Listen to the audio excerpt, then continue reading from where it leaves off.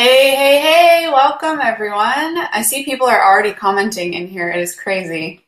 People are so excited to hear from Suzanne. Um, so, welcome. If you guys uh, don't know who I am, there are a lot of new people who joined this group today because Suzanne is in here for this workshop. So, uh, I am Becca and I run this Facebook group called the Happy Ever Crafters. And uh, I've recently started doing a series where I'm interviewing other artists about their craft and also about their businesses. And it seems to be a pretty big hit so far. So I'm really excited for today's. Um, we are going to be talking to Suzanne Cunningham, and I have her live in here with me. Um, she's just not on the screen yet because I need to do a couple housekeeping things first. So um, if you're tuning in, let us know where you're tuning in from we always want to know that kind of thing. That's always super fun to see. So um, just comment in the comments below where you're tuning in from. I won't be able to see your name, but I'll be able to see your comment. So um, let us know. But um, yeah, as soon as we get started here with Suzanne, I'm going to stop posting or stop looking at any of the comments in the chat. We're going to be really just talking about a lot of the questions that were submitted ahead of time and uh, we'll be kind of working from that and just having a little chat. And then Suzanne is going to do a live demonstration on flourishing, which is, I think, why most of you are here. Um, so yeah, we won't be answering questions that are coming in live. We're going to open it up at the end if we have time to a couple questions. So keep them for the end and just stay tuned for that. And um, and hopefully that will kind of make things move a little quicker. We have a lot of stuff to cover today, and there's a lot to learn. Um, and then the other thing is, I had people asking if they should have their supplies ready to do this um, demonstration with Suzanne. And we discussed it, and we think it's better if you just watch and learn from this video. And then there's going to be a replay available always, so you guys will be able to go back and actually use your tools and follow kind of the advice that Suzanne is giving you. So for day for today, just just watch and learn, um, and then you can watch it again later. Um, there are also going to be some free flourishing worksheets that Suzanne has provided. So uh, at the end of the video, I'll let you know exactly where you can go to get those. And um, yeah, I think other than that, I'm just trying to look at where people are tuning in from. Wow, we have Hungary. That's crazy. We've got California, Ohio, Dublin, Ireland, the Netherlands, Ontario, yay. Um, Okay, so yeah, lots of lots of awesome places people are tuning in from. And I think we should just jump right in because there's a lot to go through. So without further ado, let's welcome Suzanne. I just got her up on the screen here. Hello. And, hello. Oh. There goes my dog in the background. they think someone's at your door. I don't know. There's no telling. She'll go out in a minute. Oh, Hello, everyone. Welcome. Thank you so much for coming on here. Really excited to Thank hear. you. Thank you. Thank like you for having me. The queen of flourishing. So people are oh, excited. Don't know about that. It'll be fun though. We'll have fun. Yeah. So um, I guess the best place to start is just if if people don't know you, can you just tell us a little bit about who you are, what you do, a little bit of your background? Yes, yes, absolutely. Um, I have been doing calligraphy or actually probably what I thought was calligraphy for about 25 years. Um, and today is my wedding anniversary, so happy 24 years to my husband. Um, I started calligraphy about a year before we got married. And, um, but just as a child, I would always try to sit and copy different kinds of letters. Uh, my mom had a speedball book of alphabets, and I would sit and just try to copy all the beautiful letters out of that. And this was just with a regular pen. And if it, you know, had a shade, I would draw in the shade and fill it in and things of that nature. And um, write down just anything I heard. If a commercial came on TV, I would write down the slogan of the commercial. So I've just always been writing as long as I can ever remember. And then in 93, uh, my boyfriend at the time, my husband now, told me to make a few samples and take them to some wedding shops. And so I did, and we lived in Birmingham, Alabama at the time. And there was a lady there uh, at a store called Weddings etc. I don't think it's there anymore. But she was very kind to me and put me in her book of her calligraphers. And I think she probably felt a little sorry for me, but she kind of pushed me a little bit, you know, told her brides that I was good or whatever. And I charged a whopping 50 cents an envelope at the time. So now I, I, can't even imagine. And I still remember the day that I went up to a dollar an envelope. I just could not believe. I kept telling my husband, I said, there's no way I can charge a whole dollar. It's a dollar. It's a dollar for an envelope. People are not going to to spend that much money.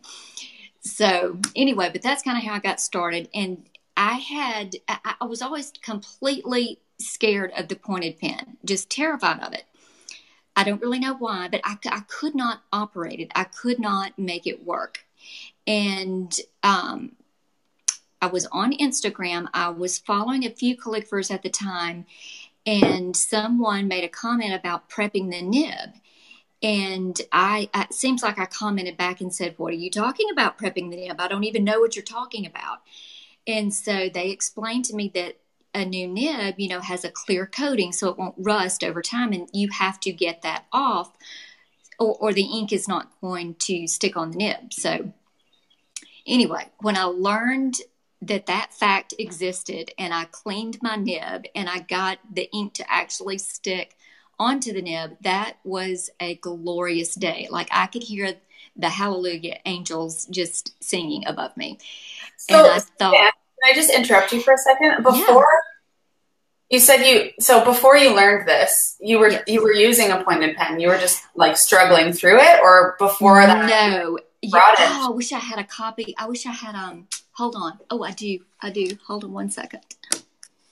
Okay, hold on. I'm going to put this down on my paper and see if you can see this.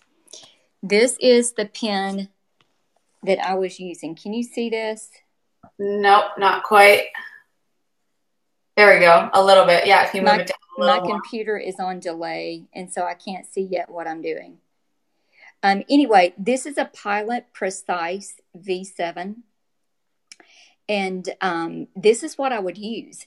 And it's really just a rollerball pen that I would get at Office Depot. But what I would do is I had a um, a leather binder that I would sit in my lap on my sofa not at a table or anything. It, this is prehistoric. And um, I would put my envelope on the leather binder, and when I would press down with this pen, it was just it had enough cushion that I could get just a little bit of a swell. And then when I let up, I would get just a little bit of a hairline. It was not much at all, but it was just enough that I thought it was okay. And it, that's what kept me away from the pointed pen because the this pilot precise looked good enough that I thought, well, th- this is still pretty, and it was pretty. It was fine, but um, you know, nowhere near what you can get with a pointed pen. So anyway, for so years many, on end, I used this stinking rollerball pen. so how many years ago was it that you actually started like purposefully using a pointed pen and practicing that way? Um, it was about four or five years ago. That's so interesting. Yeah. Yeah. To me, I thought, oh, she must, she's been using a pointed pen for 25 years. It's crazy. So for like 19 or 20 years, I used the the the rollerball pen. Yeah. And cranked out envelope after envelope. And I will have to say, I could go a lot faster than what I could do, you know, with the pointed pen. I could do about 18 envelopes an hour um, and still have them to look, you know, really nice and have good quality to them. So, it's like it's a testament to to the fact that the materials don't make the artist, right? Like, it, I think that's so interesting because people really yeah. have trouble. I, I guess so. And I remember not too long ago, I wish I had this in front of me. I um I was babysitting for a friend of mine and I actually wrote her invitation. And I saw she had it framed and I saw it there. And this was one that I wrote with my my little cheapo pen. And um, I remember thinking that I really, I still really loved the way it looked. It looked still really fairly nice. And so I was really happy with that because I think a lot of times we look back at our work and, you know, we think, how did I even write that and think that it was okay? So I was really kind of relieved that I still thought that this looked pretty okay. I think that's so cool. And uh, like, I'm, shocked. I really would have thought you've been doing point and pen for 20 years. well, eh, eh, I, think I was a little bit ahead of the game once I did figure out how to manipulate the tines and work with the pen. I knew the letter forms pretty much already. And I was doing a lot of things already correctly that I just wasn't aware that I was doing correctly. Um, so I feel like I was ahead of the game once I started. So that's so anyway, cool. Anyway. So now, at, like, what does your day to day look like as a professional calligrapher? Well, right now, um, this is my busiest wedding season. Um, I I've done when when January hits, I think everybody gets engaged over the holidays, and then it just hits, you know, fast and furious for these spring and summer weddings. So I've been doing envelope after envelope um, pretty much since January. Um, and I go very slowly. I only book myself off for about 25 envelopes a day. So I'm usually sitting at my kitchen table. I don't even have an office with the desk. I'm literally at my kitchen table in my eating area, and uh, which is nice. I like it. I'm in a bay window and I have all of the light coming in, so I'm completely fine with that. But um, I sit and do envelopes pretty much on and off all day. I would probably get way more than 25 done a day if I could just sit for hours on end and write. But um, I can. I go change the laundry or I have to run to the grocery store or, you know, the phone ring. Life just gets in the way. And then before you know it, I have to go pick up my daughter from school. So um, by the time I go to bed at night, it has taken me all day long to get those 25 done. And it seems like it shouldn't, but it just does. Because I can do about maybe eight or so an hour, sometimes 10 if I really get in the groove and the the addresses aren't too too long. But um i don't know. It takes me all day long to get those 25 done. And if i have some free time i'll do more and kind of get caught up a little bit. And i don't book off any over the weekend so i only work monday through friday. So if, if i'm ever behind like if i have to go to the doctor one day or you know just something happens and i can't do any envelopes one day then i have the weekend to catch up so usually by the time monday rolls around i'm i'm pretty much caught up and um, can uh, not sink too far underneath the pile of envelopes. But yeah, so that, that's usually my typical day. It's usually envelopes, some not always, usually so. Um, sometimes I'm working on another, you know, kind of project, of whether it's a baby cross or a set of vows or something like that, but usually envelopes. So yeah, that's, I mean, that's really interesting to me because I always wonder what like I, I know envelopes are a huge thing, but I never knew if it was like you got you know vows or other things like that that were as constant as the envelopes. Yeah, it, the envelopes are the the main source of the thing that I do, and, they they are very time consuming, and um, I think people are happy to pay someone else to address their envelopes because it is a very tedious job, especially if you're not used to it and you don't have your little system down pat. Like, you know, I've got my ink in a certain spot and I've got my outer envelopes in a certain spot and my inner envelopes right next to it. And, you know, my list stays in its a certain place. So I've got my system down just like I like it. And so it's not tedious as much, I guess, for me because I know what I'm doing. But um, I do think that's why people don't mind paying someone else to do it because it's such a huge task for them to take on, especially if they're trying to plan their wedding right in the middle of all that too. Yeah. So I think also like when as a calligrapher, the first time you do that and you don't charge somebody accordingly is when you realize how much work it really is. Yes and yes. how much you really need to be charging and why you're charging them. Exactly, exactly. Because it's not anything that you can rush through and it, I mean, you have to take your time because it has to look good. If you rush through it, then it's not going to look good. And that defeats the whole purpose of them paying you in the first place. You know, they want a beautiful envelope that they can keep forever if they want to. Um, and so it's got to look good. So you have to go slow. You have to take your time. And I write very slowly. I follow you, just like you do, I'm sure, a ton of calligraphers on Instagram. And I see them writing so much faster than what I write. But I just feel like quality always wins out. And I can make it look so much better if I go slowly. So that works for me personally. If if I could write faster, I would love to. Um, but I just can't do it. I, I need to go slow and concentrate and make sure every single stroke. I like to think about so if you're making the lowercase letter a, I try to think about when I make the letters, um, and I get to that letter in a name, like if I'm writing the word James and I get to the letter A, I don't think of that as an A. I think of that as an underturn, an oval, and I mean a, an entry stroke, an oval, and an underturn.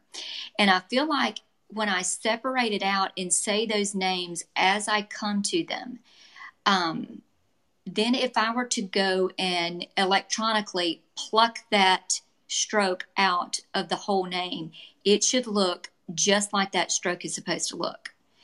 Um, and I try to do that. It's kind of tricky, but I try to do that some in my workshops too. Like if you take um, the word James, for instance, and you pluck out that first overturn in the M, a lot of times that one will look great. But if you pluck out the second one just by itself or the third one just by itself, a lot of times the top will be pointed. It won't have a nice round arched top. And a lot of times it will be shooting two sideways out from the one before it. That's kind of hard to explain without writing it. Um, but I feel like if I say overturn, overturn, V shade in my head instead of an M, um, it helps me to keep every single individual stroke looking as good as it can possibly look. I love it. I probably love slows me down. I don't go as fast, but I, I, just feel like it looks better in the end, and I'm I'm happier with it in the end. So that works. I love me. that because I I I had a workshop recently, and I, I, always tell people that you're trying not to think of it as a letter; you're trying to think of it as the separate pieces. Yes. And yes. we're getting off on a tangent here because we got to talk about. I know. I know but I had a workshop recently, and the girl said to me, um, "I can't see the letter; I can only see the strokes." And I said, "Perfect, yes, perfect. Yes. That's what you want. That's what yes. exactly what you want. That is okay. That is okay. Yeah, yeah. Perfect. I love that you're validating. Good for you. Yeah. Okay, so so let's talk a little bit more about um, you being a professional calligrapher. So I asked you ahead of time, but I can't remember what you said. IAMPETH, is that how you say it? Yes, IAMPETH. So yes. what what is that, and what does that mean for you? Like, how are you involved in that? So this year, I'm really excited for IAMPETH. Um, I'm going to be one of the teachers, and I'm going to teach a flourishing workshop. But IAMPETH is just one of the international conventions that um, you can learn about calligraphy. If you don't already know about calligraphy, you can um, get better at it. If you already know great, you know what you're doing, you have no problem with it. You're more advanced. Um, it covers the whole gamut of beginner to advanced um, calligraphy. You don't um, necessarily have to have the skills yet uh, to be able to enjoy it, which is nice. The very first time that I went, I was absolutely petrified and scared to death and so intimidated. And I was so wrong. And I was so happy to be so wrong. Everybody was so um, encouraging and oh it's so great to see you suzanne i follow you on instagram or even if they don't say that you know like how are you my name is so and so it's so glad to um, i'm so glad to have you in class just very welcoming and encouraging and it, it put every one of my fears to rest. Absolutely. Um, so this summer, I'm going to be teaching a flourishing class at IAMPETH. And um, I think it's going to be a lot of fun. I really do love flourishing. I feel like it is just a beautiful way to to just enhance your letters and enhance the whole look of a piece that you're working on, whether it's an envelope or vows or whatever it is, a quote, a Bible verse it just really adds to the whole look of the piece. and you never want it to take away from the look of the piece.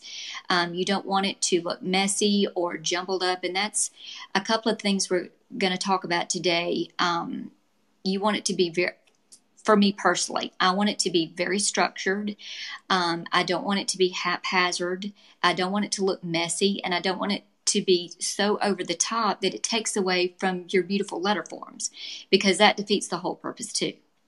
And we got we had a lot of people asking those exact questions, so I'm really excited for you to kind of show us what you mean on that. Yeah, yeah. So, um, okay, so if we're going to jump into kind of having you teach, but let's let's cover a couple um, of the kind of precursors to that. So tools. Um, would you say that it's better to use a straight holder or an oblique holder? And what's your favorite nib? Was one of the most most common questions. Yes, yes. Um, so I have some of my favorite nibs sitting here, and I can turn the camera down if it works out and and um, go over some of these. Hold on just a second. Let me get this straight here. Okay, tell me if you can see these. Yes. Okay, so this is one of my favorite holders that I use. It's made by Lindsay Hook, and she is phenomenal. I absolutely love her to death. I have three of her holders, and um, this one is custom made to my hand, but she has a, a beautiful website that she sells her pins on as well. Um, so this is probably my go-to holder that I use. Um, let me look right here. Can you see this nib right here? Yep. Uh, this is a Nikko G. I use it probably the most often. A lot of times people say that the Nikko G is for beginners, and I completely agree with that. I do think it's a great beginner nib. I also like to use it for envelopes though, because I feel like when you press down, the swell that you get, the shade that you get, is not quite as wide as it's going to be with some of these other nibs, like a the Gillott 303. You're going to get a wider shade. But when I get an envelope that has writing that's fairly tight on the envelope, like there's a lot of ink right there in a small space, I feel like, for me personally, and this is just my opinion, but I feel like that a little bit of a lighter shade kind of looks a little bit better to me. I think it's a little more pleasing. There's not quite as much black, um, dark ink on the envelope. And the overall look, even though the hairlines are not going to be quite as fine with the Nikko G as it will with the 303, I still feel like the overall look is a little bit lighter than it is if I use a nib that's going to have a heavier shade. So I do love the Nikko G. I love the Zebra G. I love the Hunt 22. It's one of my very favorite nibs. Um, the 303 is a, a, great nib. Now, this is going to be a little more pointed. It's going to catch just a little bit more in your paper, so you you have to concentrate on lightening your hand with this one. The 404 I have found does great with metallic ink and handmade paper. That's that is, Gillott 404? Yes, yes, exactly. Gillott 404. I, I always use either the Gillott 404 or, let me scoop this in another order, or this one right here, which is a Blanzy 605. I use one of these two all the time with both metallic ink or handmade paper or both. Um, this is a vintage nib, so it's going to be a little bit harder to find. The 404 you can order straight off, you know, John Neal Books or Paper and Ink Arts. It's very easy to find and not expensive. Um, and then this last one is one that I, I have a few of these nibs. It's called a Velleda, and it is a vintage nib also. And it makes a beautiful, a beautiful shade. How do I spell and that? V E L L E D A. Velleda. So those are just a few of my favorite nibs. And I also love the ones, and I'll get this one out right here, that have these little springs on the back of them. Can you see that? Yep.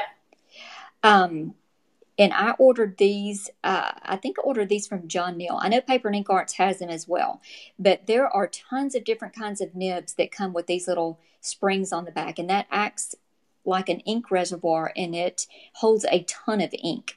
Um, I really enjoy them, not so much when I'm doing envelopes, but if I'm ever going to record a video and I don't, you know, you only have a minute. And so you have just a, a certain amount of time that you have to get all of your lettering done within. So a lot of times I'll use these caged nibs on my videos and I don't have to stop and redip for ink. The only thing that you need to worry about, or not really worry about, but be cautious of with these is when you dip your nib into the ink and then you bring it over onto your paper, you need to do that a little just be cautious at the speed that you do that with because if you bring it over onto your paper too fast, there is a lot of ink within that little coil and it, it might drip out. That's the only thing that I you know, seem to have found maybe that I don't like. Um, but it's not that I don't like it. You just have to be a little bit more careful about how you move your pen in the air, right? Um, because that little that little blob of ink can come out. Because um, there's a lot of ink in the nib, but that's the whole purpose of it. So, and so what about uh, what about the holders? Um, okay, so let me move this out. The most of my holders I don't have right in front of me because actually I use this one almost so all if, of the time. If you were to um, advise someone whether or not to use a straight or oblique holder, what would your advice be on that? I personally use um, an oblique holder. But now I know a lot of people who use a straight holder. I like the oblique. Can you see my hand? Yep. I like the oblique because your nib needs to be lined up with this slant line right here. And I feel like, I don't know if I naturally hold my pen, say if this was a straight holder, I naturally hold my pen like this. Well, this is not running in the right direction. This is running in this direction. And this is my slant line right here. So, in order for me to get my nib on a straight holder to run in the right direction, I have to either crook my hand way over or I have to turn the paper way over to the side. And if I have the oblique holder, this uh, flange right here kind of shoots the um, the nib over to the side for me, and then this way I can just hold my hand in a natural position. You know what's comfortable to me, and I don't have to turn my paper quite so severely. I can just have it turned probably at about a 45 degree angle, which works just you know perfectly with me. So that's that's why I enjoy the oblique holder. Um, but it's, now I have a lot of friends that like the straight one too. So you really do just need to kind of play around with it and see what works best for you. it, it is a very personal thing. I had um, so I was at Paul Antonio's workshop. If anyone's not following Paul Antonio, you need to be following him. Um, I'll pop his name up on the screen here in a second. But I was at his copper plate workshop this weekend, and he recommended using a straight holder. And so it shocked me because when he came over to adjust my posture, my he turned my sheet pretty much completely upside down for the way yes. that my hand needed to be. Yes. And I've never written like that in my life. So it was it was interesting. But I think it's yeah, I love what you're saying about um, it being on the right angle and just whatever's comfortable for you. If it's more comfortable to get your hand on that angle with the oblique, then, yes. then by yes. yeah or for whatever reason, I'm, I'm, sure it's operator error. I'm sure I'm doing something incorrectly. Um, but for whatever reason, when I use a straight holder for more than just a few minutes, um, the the top of my hand starts aching. I, I don't know what it is. It's just it's not used to that angle. I don't know. I don't know. So the oblique for me is much more comfortable. But now, you know, that's just my personal opinion. That's what works for me. So that's what I do. So if you like the straight holder better, you do what works for you. It's both are totally correct. Cool. Okay, so we we did nibs, we did holders. Um, I don't know if we'll be able to show this very accurately using the phone and how you have it positioned, but can you talk a little bit about how you are positioned in relation to the desk when you're writing? Yes, I um okay, let me see here. And I will be the first to say on on posture, do as I say, not as I do. um I will inevitably cross my legs and I know that's a big no-no. Paul, do not call me out. Um, which he probably will, but that's okay. But I, I will always end up crossing my legs, but that's a no no. You're supposed to keep both feet on the floor I like to sit actually with my feet on a large book. I have a book underneath my feet right now. Um, it just, I don't know, it feels more comfortable, the angle. Um, it's almost like my knees are pointed a little too far down when my feet are on the floor. It feels a little more comfortable when it's a little higher. Uh, so I have a book up underneath me. Um, I sit about halfway out on the edge of my chair. I'm not like my back is not touching the back of my chair at all, but I'm not on the edge either. I'm just about halfway on the seat. Um, of course, you're supposed to sit with a straight back and tilt from the hips. You're supposed to have your shoulders down. And this is one thing that Paul would correct me on every time. I, I must write like this. I don't know.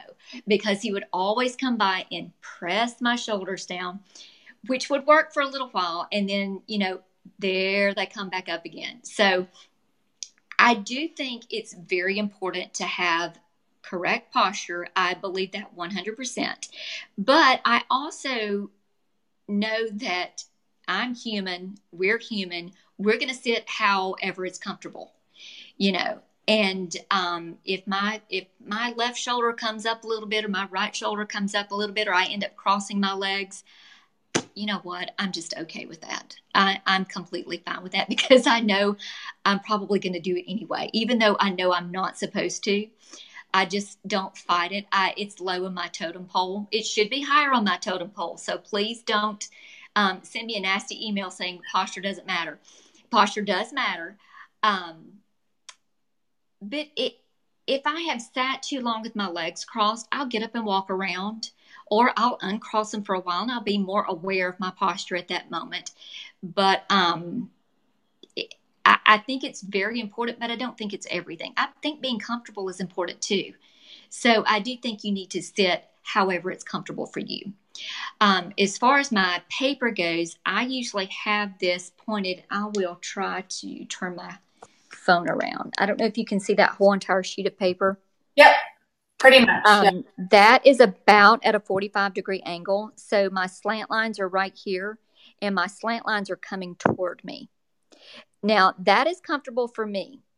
Um, but I have a lot of people at my workshop that, you know, they might need to rotate their paper a little more severely, a little more sideways, or maybe straight up and down a little bit more. But right at about 45 degrees, where these slant lines are pointing right toward me, that works for me. That works for me personally. Um, and one thing that I just always try to do, I always try to write with this sheet of paper or, or my envelope or whatever it is I'm working on between my two shoulders.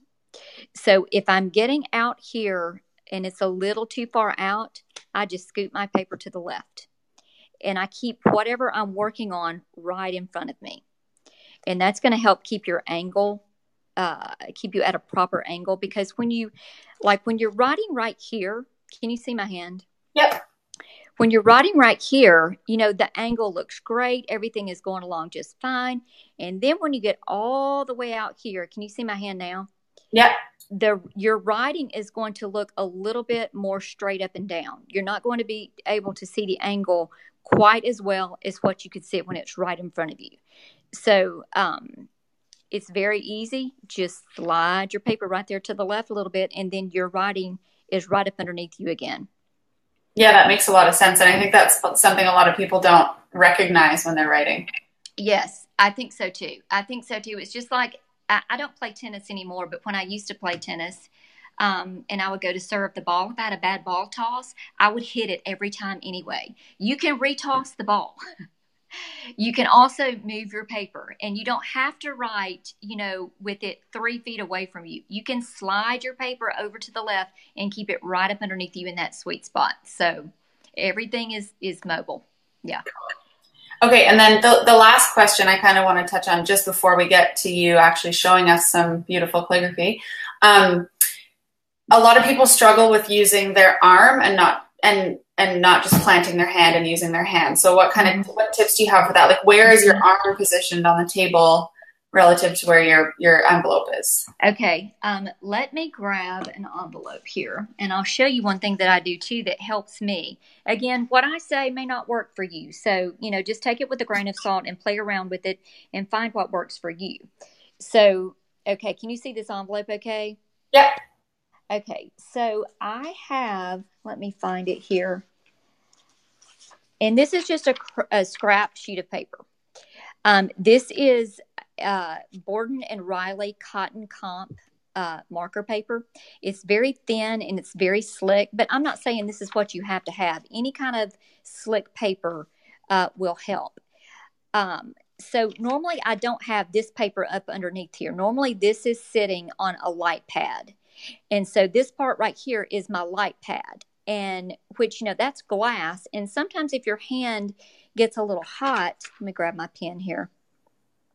And I'm getting down to the zip code right here, my hand is resting on that glass and it sometimes it won't slide very well.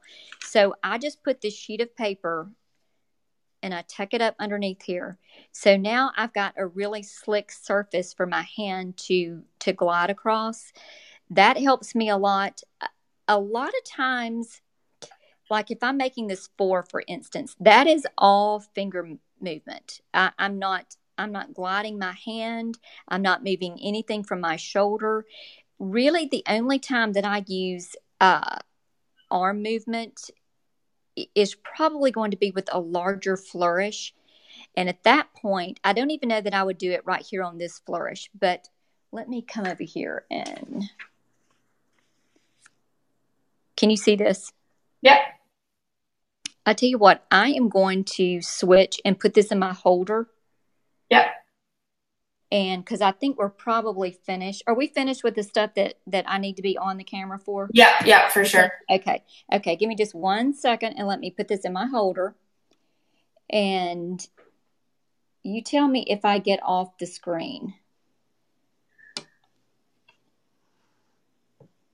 Okay. Can you see that okay? Uh, nope. So you're off of it now. Nope. I'm off. You move your paper up a little bit. Okay. The paper needs to go up. Yes. Up and left a little, maybe. There we go. Yep. Okay. Is that better? Yep. That's perfect. Okay. Perfect. You tell me if I get off screen. Yep. Um, okay. So say that, hold on. I got to get my glasses on too. I'm 50 now. I can't see anything without my glasses. Okay. So say I am making this K, for instance. Um, so I start with the base of the K. I start like maybe right here, and I do my stem of the K. I make my little angled stroke with my dot. I do my underturn right here, and now I'm ready to do this big giant flourish. So all of this movement right here is coming strictly from my fingers. But once I start and put my pen down right here, I lock my my whole wrist in place. I'm not doing any finger movement anymore. My my my wrist is completely locked. And I come up here and I'm sliding my whole entire hand. And I'm sliding and I'm sliding and I'm sliding and I come around and maybe when I get to right here, I may finish it off with some finger movement. But this whole entire portion right here I am sliding my whole hand.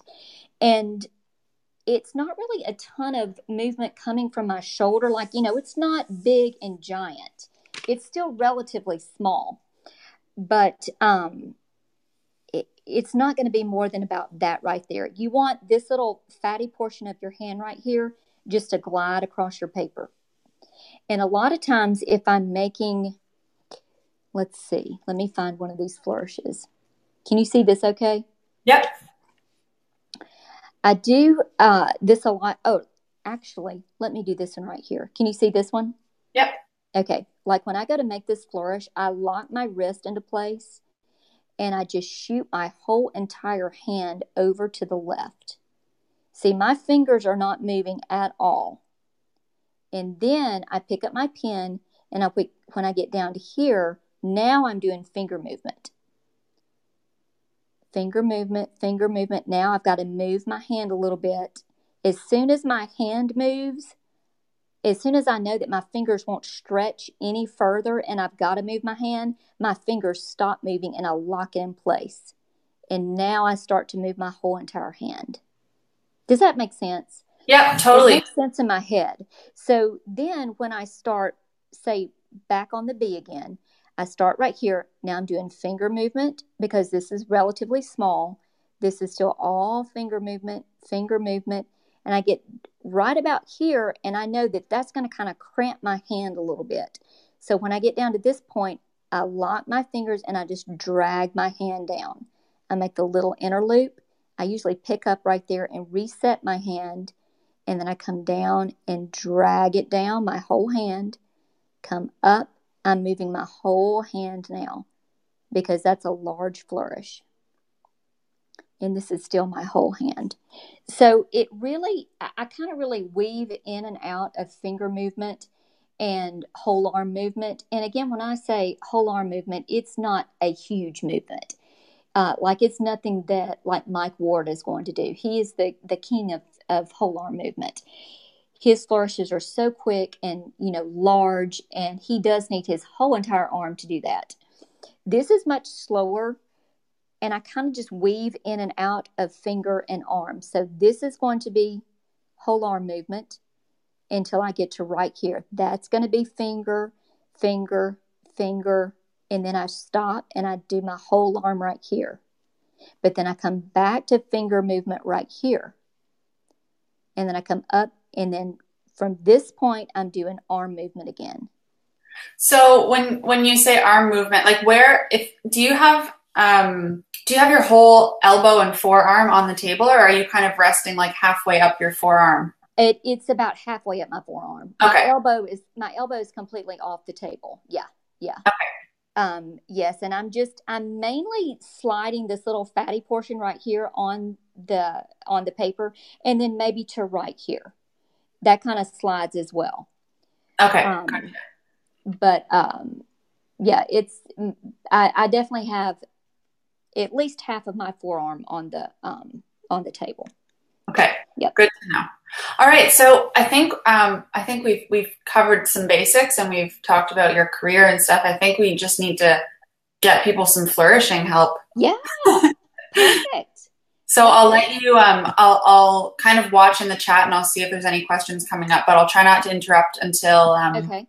until you're you're kind of wrapping up, and then Okay. we'll, take some questions at the end. Perfect, perfect. And let me just tell you really quickly um, before I get to the flourishing part, I wanted to show everyone um, one of the guidelines that I made because I get this question all the time. So I thought I would just show this just really quickly.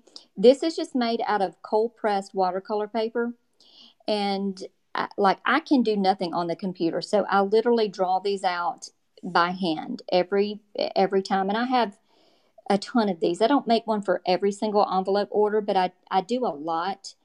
Um, from the top right here to my first baseline is 12 millimeters. And then from baseline to baseline to baseline to baseline, that is going to be 14 millimeters. Now, this particular one, my X height is four millimeters. A lot of times, though, in envelopes, I will write in three millimeters, which is what this one is. Um, but regardless if it's four millimeters or three millimeters, what I like to do is I will draw in pencil another extra little line. I don't want this to be as dark as my pen line, so that's why I do it in pencil. These are for my numbers. So I'll make my numbers this tall. Um, and this is about from my pencil line to the baseline is about six millimeters. And You that's just nothing that's really set in stone. Do what now? Run us through those those millimeter numbers again once, so like we can write them down. Yes, yes. So let me just write it on here. Um, from this top, very top line to the Yeah. first baseline is 12 millimeters. This particular X height is four millimeters. And then, and I'll explain in one second why I do this. From baseline to baseline to baseline to, me- to baseline is 14 millimeters. And the reason that the reason that from here to here is 14 millimeters, but this top one from here to here is only 12, because when I go to write this second line, can you see me right here? Yep. When I go to write this second line, um, say the address is 123 Main Street, and I go to write this M, I just automatically know that I'm not going to go all the way up to the very top of this line. I leave a little space right there. But I don't draw in my top line on each one of these because when I get this top line drawn in, I did it one time and then this space was so close in width to my X height, I was having trouble remembering which one my X height was. And so I just leave this line completely out. So there is an imaginary top line right here and right here. And so I'm going to write, I'm going to do all of my capital letters right there. And I just know that I need to stop short of this baseline and leave myself a little bit of room right there. That way, there's just not quite as many lines on my guidelines and it's a little less confusing. And again, that's something that just works for me. You know, that may not work for you. You may have something fabulous that you can print out on the computer that worked way better than this.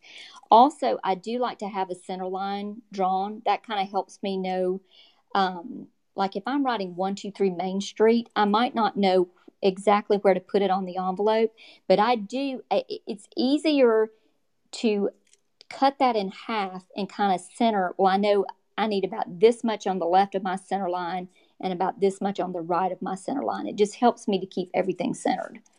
So, is that your only um, kind of means of centering things? Because we did have someone ask about um, whether or not there was a quote unquote hack on how to center things. Yes, I, I do think a lot of it is just kind of trial and error. Um, like, I know that when, of course, I have to write the word Florence a lot because that's where I live. I know when I go to write Florence, I need to start my F right about there. And I know Alabama is going to end right about there. So that's going to be centered. I know when I write the, the word Birmingham, it's longer. So I need to start my B over about right there. And then my A in Alabama is going to end right there. But if I get up here and I've, I've started too far over to the left and I'm writing my A in Alabama, and I know that this is really off center and that's not going to look good. All I do is just put a big giant flourish off the end of that. Which is where all of this new flourishing knowledge will come. Yeah, there you go. and so then all of a sudden, my B is over here, and now my flourish has ended up over here and that's probably at least one inch. So you know i can make that flourish as, as big as i need to or as small as i need to. If i didn't need one that came way out here i might just simply come around and stop it right there if i needed say a half of an inch. So you really do just kind of have to play around with it and occasionally not very often but occasionally i will not start over to the left enough and I'll get that line written and it will be way off center to the right. And at that point, I probably would come back over here and bring this loop maybe around like this and just put a little flourish on that side. And this can be any way that you want to do it. But I would just extend this somehow uh, to, to take up that room. That's probably a half an inch right there. And again, you can make that as big as you need to or as small as you need to. So there are a lot of little hacks, I guess. Um, with the flourishing, you can add to the left, you can add to the right. Um, a lot of times on my on my top line, if I haven't started over to the left far enough, so it's off centered and it's way over to the right. So my M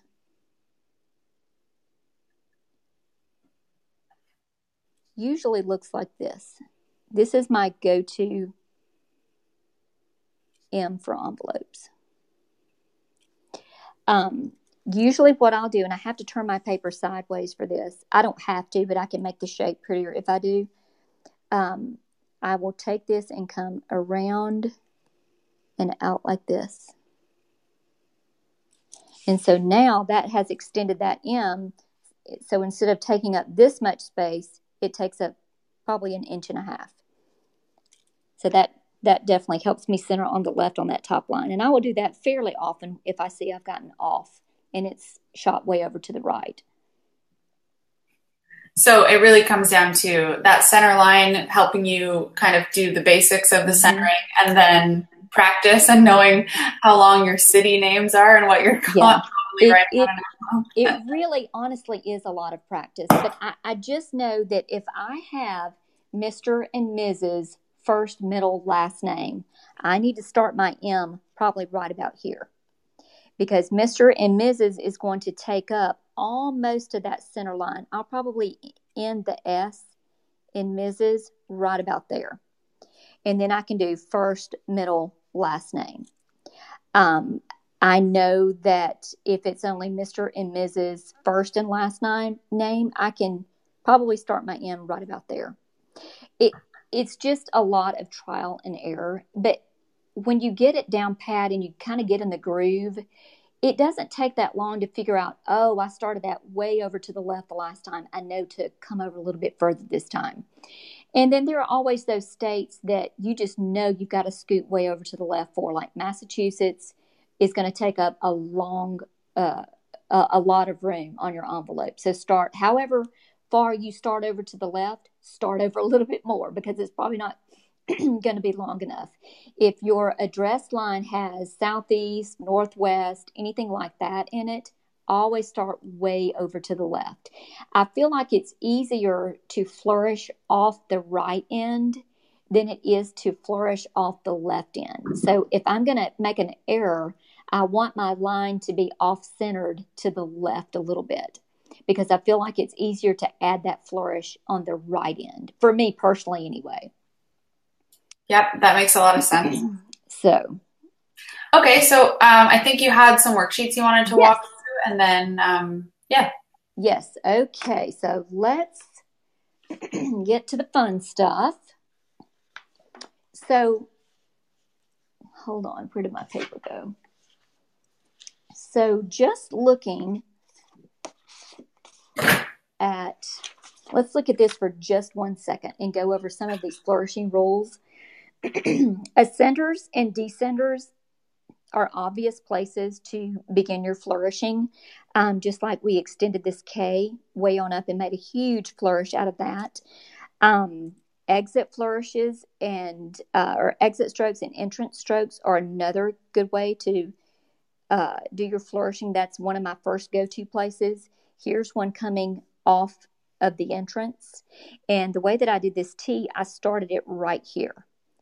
I did my, my capital stem, put a little flourish on the bottom, and then I started right here and came down and around for my H.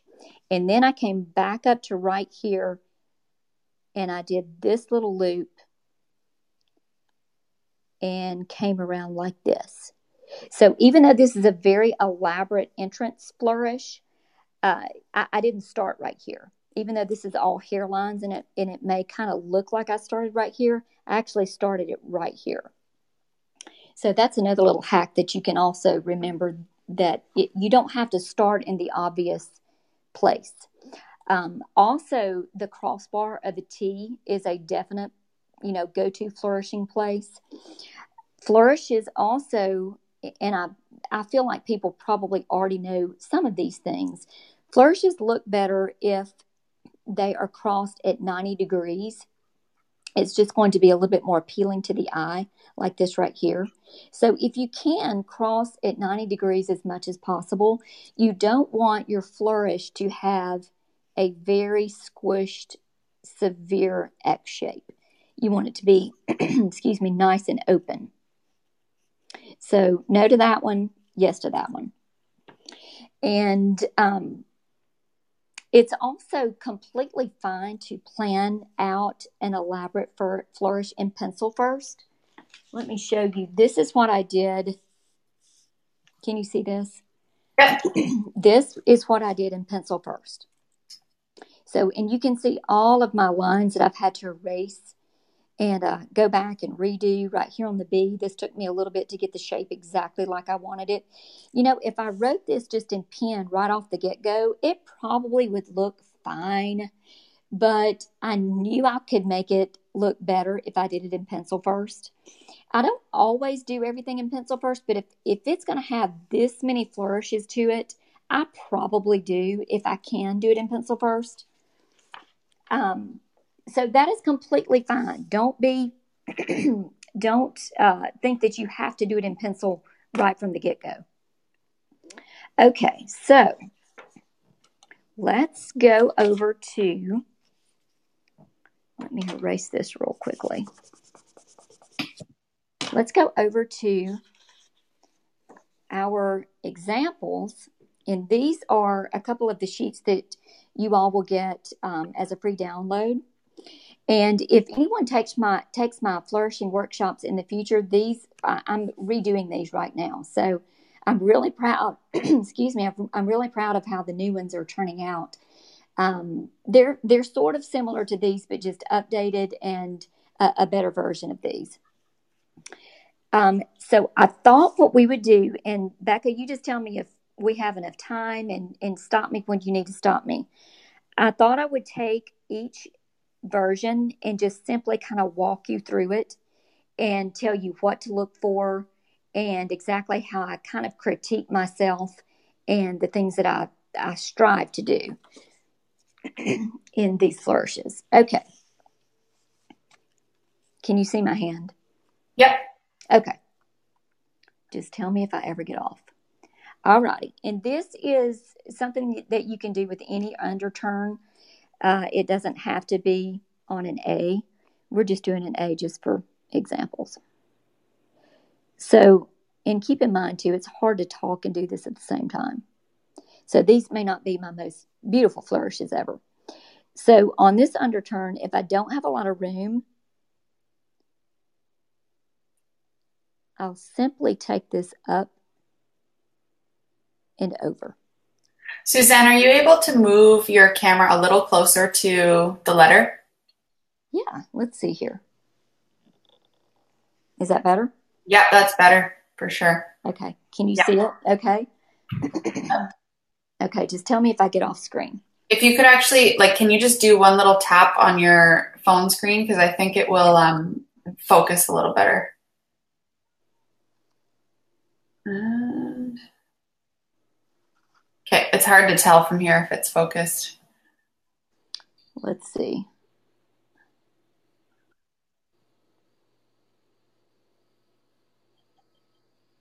Yeah, I think that's better. If someone in the chat, uh, someone in the chat could mention whether or not they can see that properly, just because it's hard to tell from the program we're using. But yeah, just just go ahead and carry on. Okay. okay. And, and, it may be sometimes when I scoot it that close to the paper, um, sometimes it's a little harder for it to focus. I'm looking on my computer now, and I'm not so sure that that looks completely focused to me. Oh, okay, it's a yeah. People are saying of focus, so maybe I'll have okay. to. Okay, let me back it out just a little bit. Tell me if that's better, uh, clarity wise. I think it's better. Yeah. Okay. Okay, so let's just go with that. All right. So one of the things that I want to look for is I want this spacing to be even all the way around here. So on our most simple version of our flourish, that's pretty much all that I'm looking for. Okay, so moving on to our next version.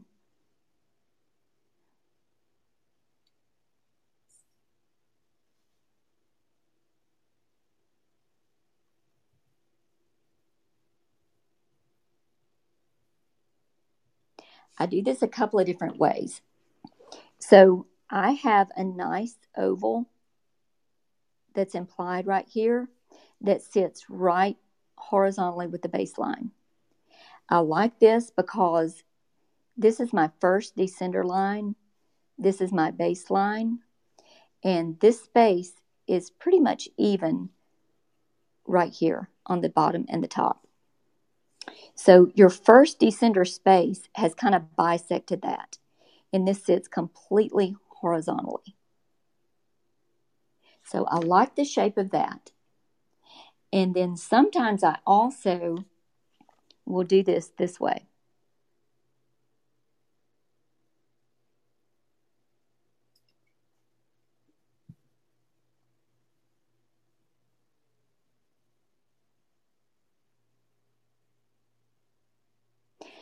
Okay, I think this one works because this implied oval is not running horizontally like this one was, but it is running along your slant line.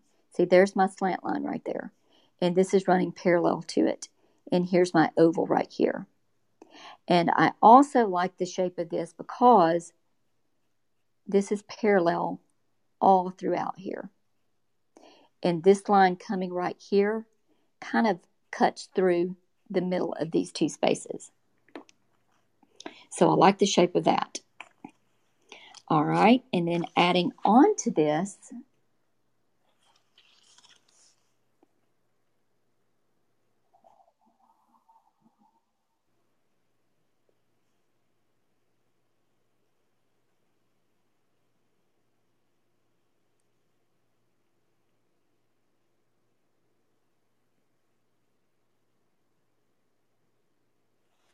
Okay, so on this one, we have this little inside loop right here is an oval, right? And we want this to run completely parallel to our slant line. And I like this because this space around the inner loop is parallel all the way around it. So this inside loop is not like way off to one side where you have a lot of space on the left and then a, not a lot of space on the right. It's kind of tucked evenly between this little U shape right here. So I like that. And I do like the fact that uh, this implied oval right here runs along your slant line. And that's not completely necessary by any means. And sometimes I, I miss the mark. Absolutely. That this just kind of gives me something to strive for. And I feel like most of the time, even if I miss the mark a little bit, it still looks better when I try to make all of these things eh, work than if I don't. Like if I try to make this oval run along my slant line. And if I try to make this inside loop tucked neatly in the center of this outside loop, even if I miss that a little bit, it still looks better than if I don't try to do those things. Then can you um can you move your paper up a little bit? Yes. Is that better? Um, even a little bit more just because I think the camera is focusing on the leather. So if we just get the paper in the in the plane of view instead of the leather, it might focus on your letters a bit better. Oh, okay. Okay. Is that better? Um, let me try and look here. I think it's still off a little tiny bit. If you can move it up and left a little. Yeah, and then maybe try um, and tap on your screen one more time. Sorry, I know this is a little uh, finicky, but it's um, tough to see. Okay, I think that's probably as good as it's going to get. Okay, I'm sorry. we, can, we can definitely still see what you're doing. It's okay. super still. Yep. Okay, perfect. Okay, so moving on to the next flourish. And this is not necessarily the very next one in the examples that I'm giving, but I'm going to skip a couple. So I do this shape a lot. You have to have a little bit more room to do this shape, but I do think it's very pretty.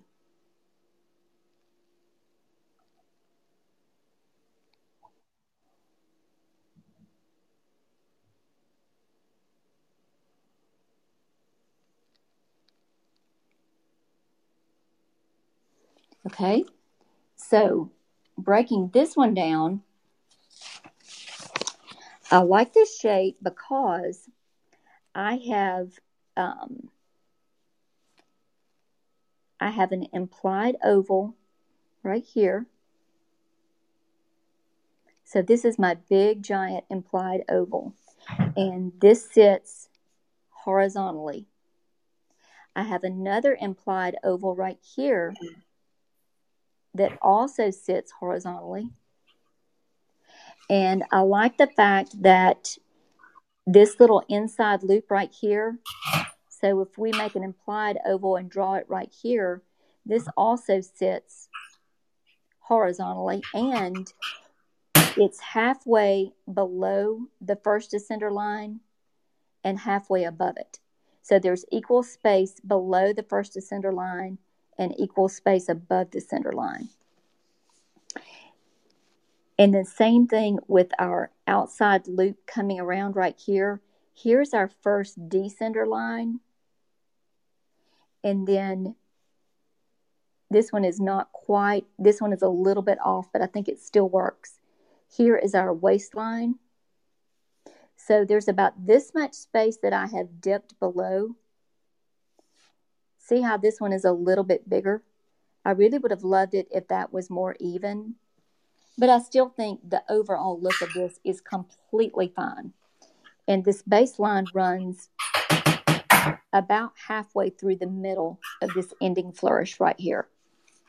So I still like that. So even though I have, I probably needed to dip this down a little bit lower right here in order for this space to be more even with this space, I still think that works completely fine.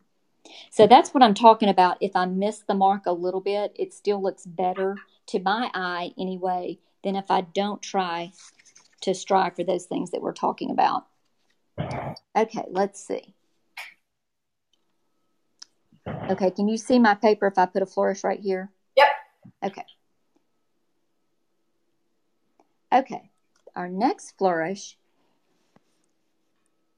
So here is our X height.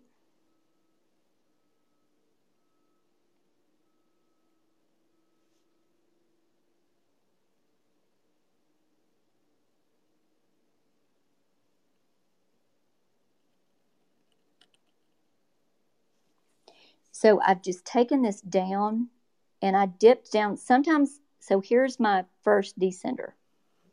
Sometimes I dip down to right here. Sometimes I dip down a little bit lower. Either way is completely fine. However much you dip down below this first descender line, I try to come up about that same amount of space to the first ascender line. So you can tell I've got a little less space right here than I do right here. But overall, I still think this looks completely, you know, completely fine. This is one of the uh, flourishes that I do add weight right here. A lot of the times I'll leave my flourishes completely hairlines. I don't know. I just like the way that looks. That's just my personal taste. There's it, there, there's nothing technically, you know, correct or incorrect about adding weight or not adding weight. Um, I think that's just more of a personal preference. Okay, and then if we take this flourish and then add a little bit to it,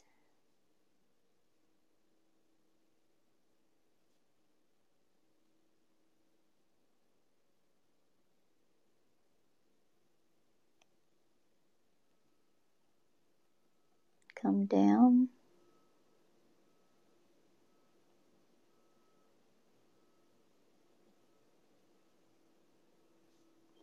Okay, so breaking this down, I have my first descender line. I have my first ascender line, and I've got about the same amount of space right here as I do right here. It's a little different, but it's pretty close. So I, am okay with that. And then when I bring my pen down and dip down below right here, I have dipped down about the same amount of space as I did above. Right there.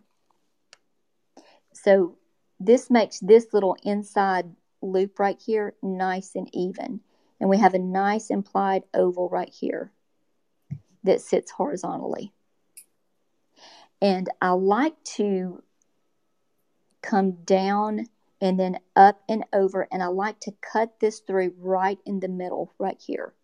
So I've got about the same amount of space on the left side of this line that cuts through as I do on the right side of that line that cuts through.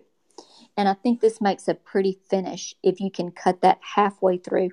And I also like to, and sometimes I sometimes I, I can do this and sometimes I can't. But I also like to apply my pressure right here in the center. From there to about right there, I want my, my whitest shade to be. So when I cross through this little first um, beginning loop right here, when I cross through that at the very end, I like for this to be a hairline. But like I said, sometimes my weight on this uh, stroke is a little bit lower, which still works fine. Okay. continuing on. Okay, can you see this one right here? Yep. Okay. So on this flourish,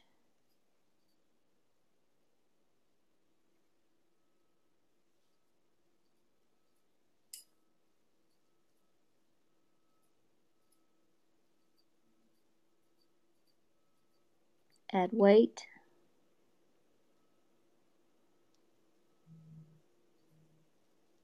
Inside loop.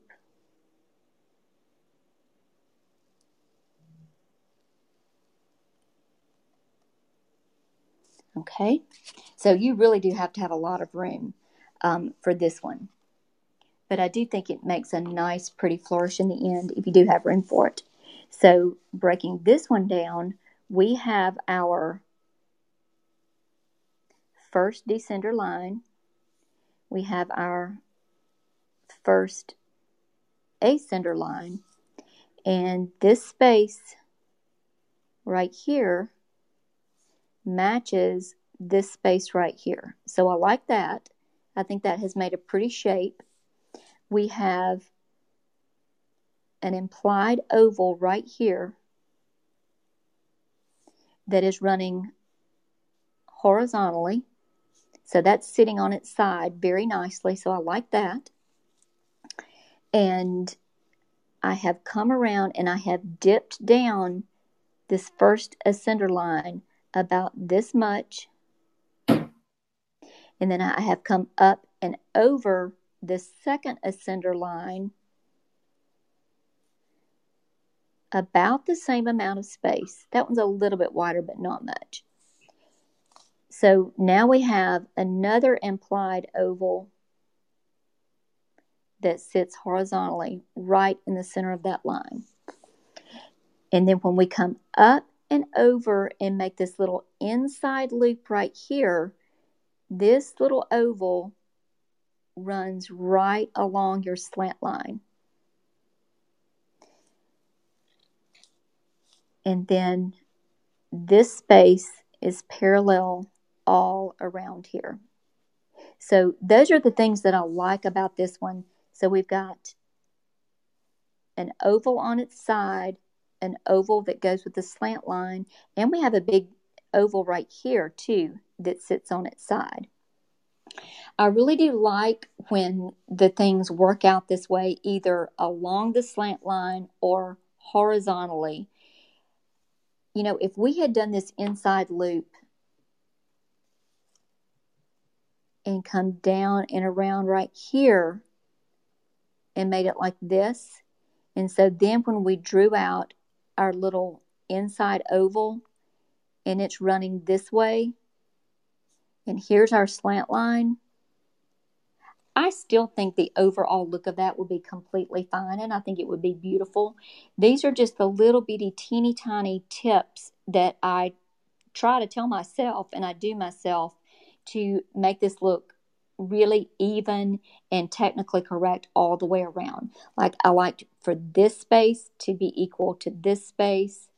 I like for all of the spacing to be even.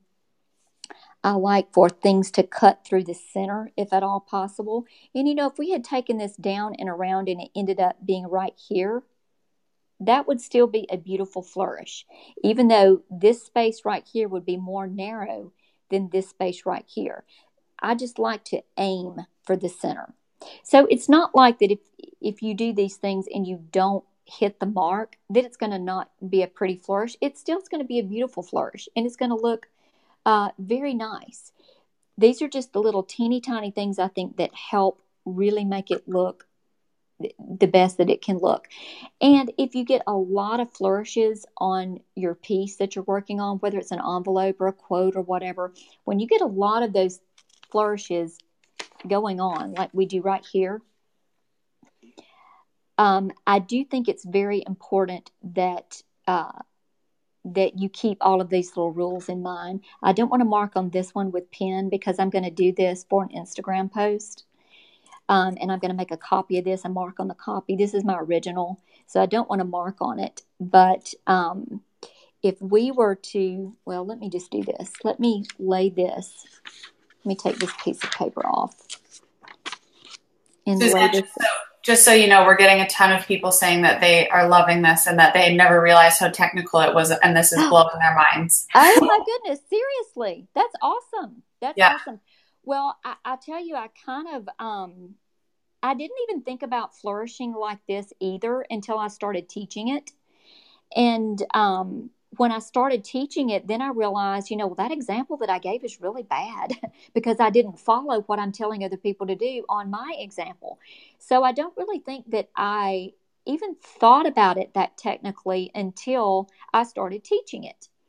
And, you know, I, I have always said I learn as much or more than my students when I teach something because the more you say something, the better way that you find the way to say it and the you know the, the better that you can explain it. So it kind of all happened um, a little bit of, as a fluke. But well, I, um, that we, makes me really excited. Yeah we're happy we get the benefit of that. Uh, yes yes. So let's break this down just really quickly and i'm going to write really lightly on here because uh, i'll have to go back and erase my pencil marks um, and I am going to post this on Instagram and I'm going to use the red pen for it. But just breaking this down, and we'll go from start to finish. Um, and this is what I do usually when I want my flourishes to be absolutely as, as correct as they can possibly be. So I've got, okay, so I started right here with my capital stem. I've got an inside, or not an inside, but I've got a, a little loop right here that sits horizontally. This implied oval right here runs along my slant line. Also, this implied oval right here runs along my slant line. This big, gigantic implied oval right here, that sits horizontally, as does this smaller loop right here that sits horizontally. And then this teeny tiny one, it sits horizontally. So we've got slant, slant, horizontal, horizontal, horizontal. All right, then taking this one, this implied oval right here, that sits horizontally. Uh, this one right here, I tried to get this one horizontal. I don't really think I hit the mark that much. But like I said, sometimes it's going to work and sometimes it's not. So the angle of this this little oval right here is actually kind of running that way, but you know what it is what it is. I do think the overall look of it still looks fine. And I do like the fact that when I came down and around that this makes a little implied oval right there that does sit on its side. And then when I finish it off right here, this oval right here is sitting nicely on its side. So really this oval right here is the only one that's sort of out of whack. And I, I think that's okay. So looking at this one on the Y, this implied oval right here is running right along with my slant line. And then this tail coming down here, that is sitting nicely on its side. Okay, and then on my ending flourish, coming down and around right here, here is a large oval that's sitting on its side. Here's my first descender line, my first ascender line. This is the same below, almost as above. I dipped it up a little bit more than I did down here, but again, that's completely fine. And then this little inside loop right here, I don't think it's running quite with my slant line, but it's pretty close to it. It should be. I should have tilted that up a little bit more. And then finishing this off, this implied oval right here is running um, horizontally. And then, can you see this okay if I gotten off? Yep, no, you're good. Okay. So obviously we've got a big giant implied oval right here that sits nicely on its side. Also, there's the same amount of room below this line as there is above this line. So I like that. That makes it nice and even. Um, coming around here, if we were to enclose this in and make that an oval, that will be another nice oval sitting on its side. And I think this shape right here works well because these two ovals balance each other out. So I really like that. Now, this is my next stroke. I'm coming down and up and around. And this little inside loop right here is running along my slant line. And it's sitting nicely right in the center of that. So I like that. Uh, this little oval is right uh, sitting horizontally. And then this implied oval is running fairly close to the slant line. It's off a little bit, but not too bad. And then, of course, we've got a big giant oval down here. If we were to enclose that, that would be running completely horizontally. And then on our ending flourish, I like this because this is very nice and parallel all the way around here. And um, if we were to enclose this oval right here, it would be running along our slant line. And then so is this inside loop right here. That's running fairly close to our slant line. So you can see I've kind of gotten a little off on some of the lines. They're not completely either horizontal or completely parallel to the slant line. But I think if I didn't try to do that and, and I didn't keep all of those little things in mind, this would look completely messy because I would have greatly missed the mark. Whereas here, I've hit the mark on a lot of them and only missed the mark on maybe, you know, two or three or four of them. And, and the ones that I did miss the mark on, it's not by a whole lot. So it's still very close to being either parallel to the slant or completely horizontally. Um, so I do think that it helps me personally. I think it helps a lot breaking it down this way.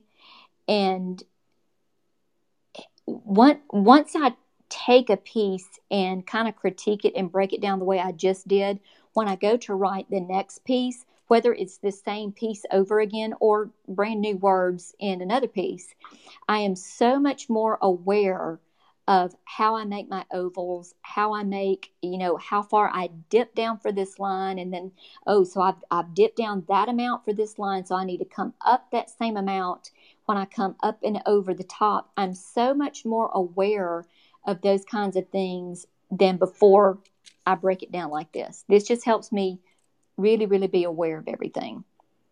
So, this is what works for me personally.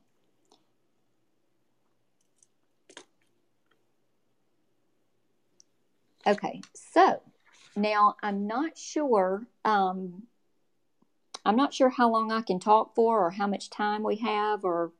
I think we're all uh, we're all loving hearing you talk, Suzanne. So as long, as, long as you want to be here, we will be here. okay, okay. Well, why don't I do this? Let me let me see here.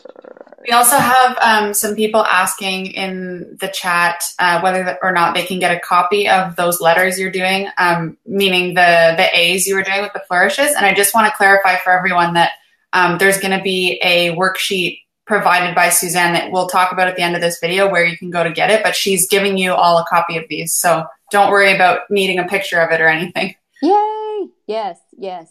And if, um, like I said, I'm, I'm rewriting all of my flourishing handouts right now, and the new ones will be much more, um,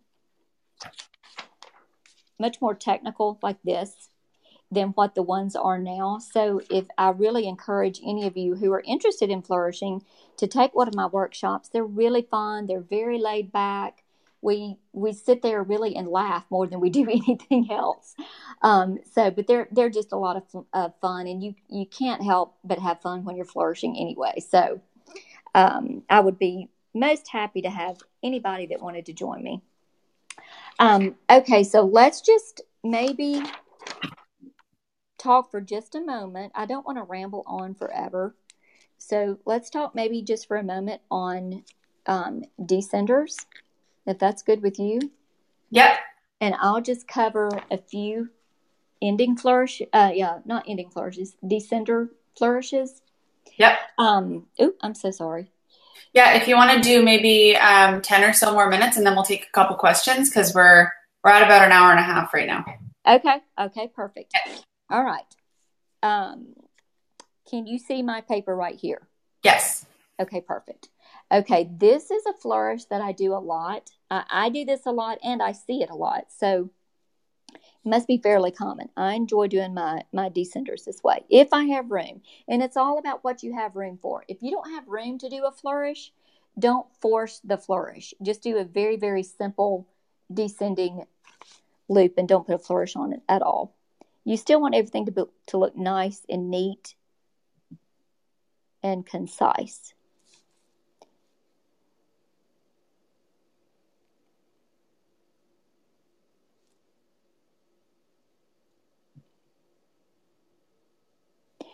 Okay.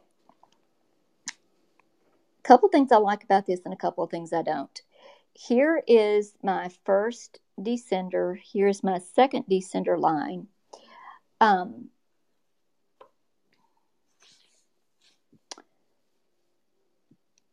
I really would love for, so this is my first descender line. I really would have loved for this line to cut through this flourish more at the halfway point.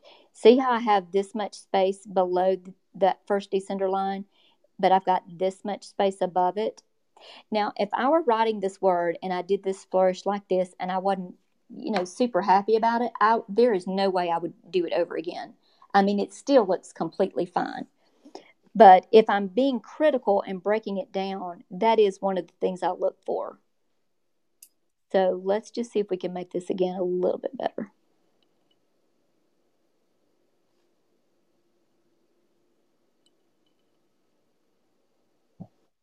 So if I'm being just super picky, I probably like this one better because my first descender line splits that in the middle a little bit better. And if I have room, which sometimes you don't have room for, I will extend this a little further down and it ends up looking like this.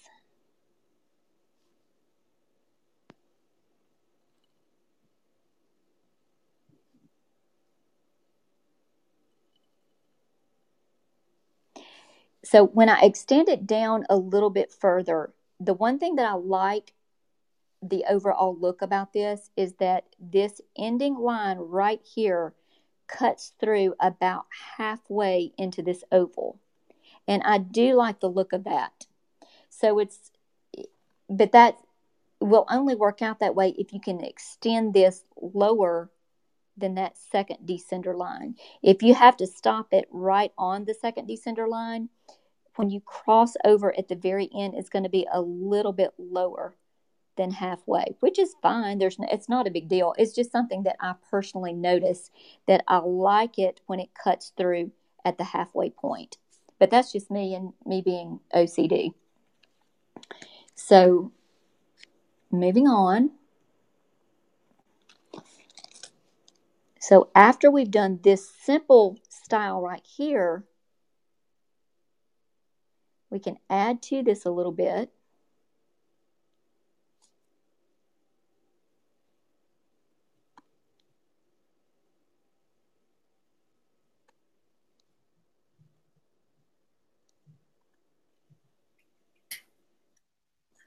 and these uh, have a few little shakes in them, so don't look at these too closely. Um, okay, breaking this down, these are the things that I like about this. I like the fact that this is has parallel spacing all the way around here. So I think that looks good. I also like the fact that this little inside loop is running right along with my slant line. Like it's not cockeyed, it's not going in a funny direction, it's completely parallel with my slant line. And I also like the fact that this ending stroke right here has cut through halfway into that oval right there. Can you see that? Um, and then also I've got this implied oval right here. I'm trying to not get my red pen would touch it to the black ink. This implied oval right here is laying on its side. So I do like that one. So I've got one oval on its side. I've got one oval going with the slant line, and then I've got an inside oval going with the slant line. And that inside oval sits directly in the center of that uh, larger oval. Okay, and then you can obviously add on to that if you have room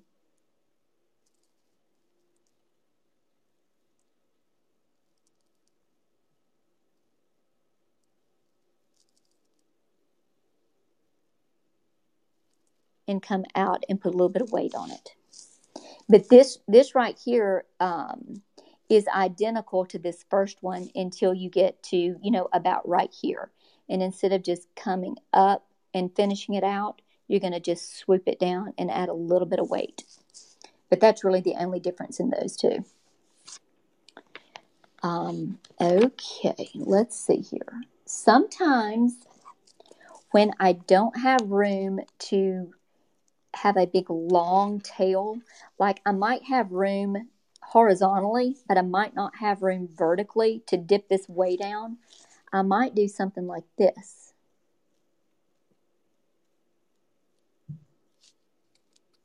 I might keep this short and simply just take it out like that. And that is a very simple flourish. But I like it because it's even for starters, like when we go around here and make this implied oval, it's sitting on its side. And if I were to continue on with this one, it would be sitting on its side also.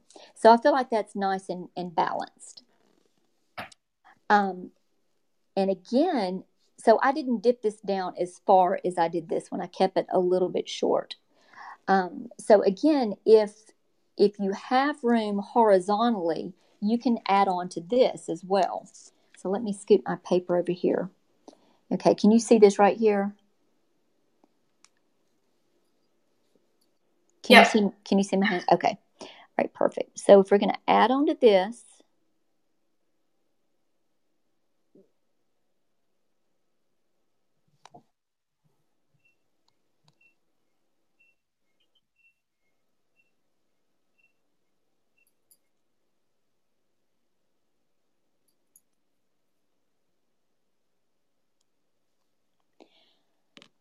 Um, okay, so there are some things I like about this and some things I don't. I do like the fact that this makes a nice horizontal oval. So I like that. I think I, I wish I would have dipped down a little bit further right here because here is my first descender line and I've got this much space. And then here is my, oh, I'm sorry, that's my second descender line. Here is my first descender line. And see how this space is, is wider? That sort of bugs me. But I, I probably, again, I would not redo that flourish at all. That's just something that I'm looking for when I'm critiquing this and really getting technical and breaking it down. Um, so I kind of wish I had dipped down a little bit further right there, but again, it's no big deal. I do normally add weight when I come down around right there, but that's just a personal preference. I don't always add weight right there, but you absolutely can. Um, I do like to cut back up through the center of this implied oval right here. So this oval is sitting nicely on its side and this ending stroke right here comes right through the middle of that.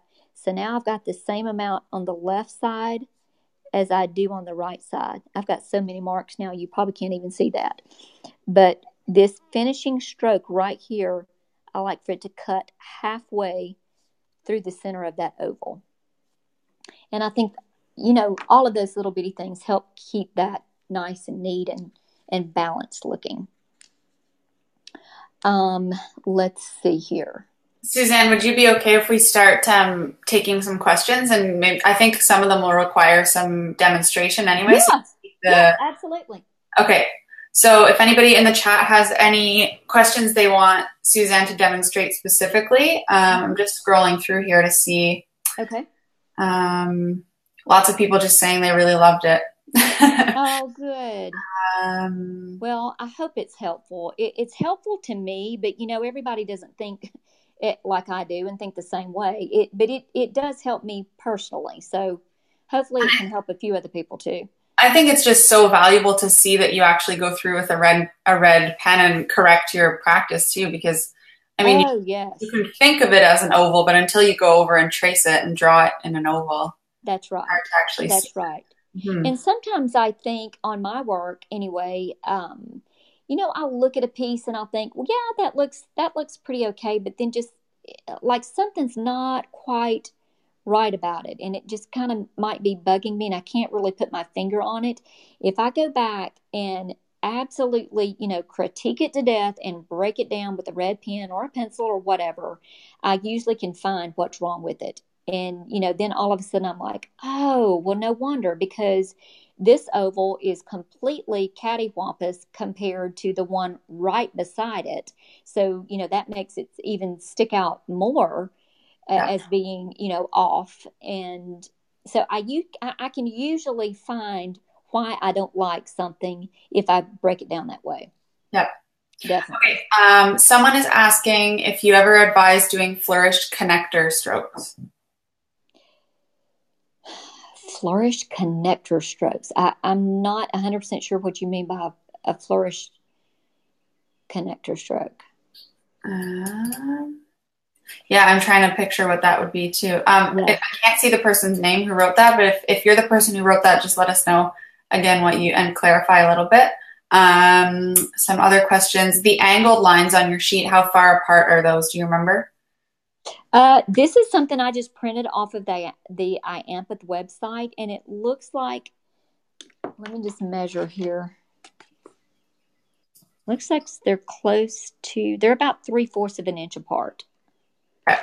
Yeah. So I'll just I'll, Oh, I'll send I'm so people to, to the IAMPETH website anyway. That would be yeah, yeah. And Um, they they have um, five millimeters, six millimeters. Um, I also know that Nina Tran has several kinds of guidelines on her website. Yep. and I, I I hope I'm not speaking out of turn. I think also logos calligraphy. That's Young Hei Chung, who she and Nina are both fabulous calligraphers. I think Younghae also has guidelines on her website as well. Yeah, I think she does too. Mm-hmm. Mm-hmm. Just writing their um, Instagram names here so everybody can find them. Yes, and Nina's Nina's um, username on Instagram is anin, which is Nina backwards, anin tran. Yeah. And then uh, Younghae's is logos underscore calligraphy. Oh, I just wrote it without the underscore here. Okay, yeah. Oh, okay. Yeah, but they're they're both two of my favorites. They're phenomenal and sweet people to boot. So that's a that's a bonus. Um, some other questions here. Do you have guidance on the size of the ovals relative to the size of the text for the flourishes? Uh not really that I just follow completely. Like I knew on this piece. Can you see this? Yep. I knew on this one I wanted big giant flourishes. Um if I were writing on an envelope, there, you know, that's going to get messy looking. So I know I can't have those big, humongous flourishes on an envelope. I've got to keep them a little more simple. I've got to keep them smaller.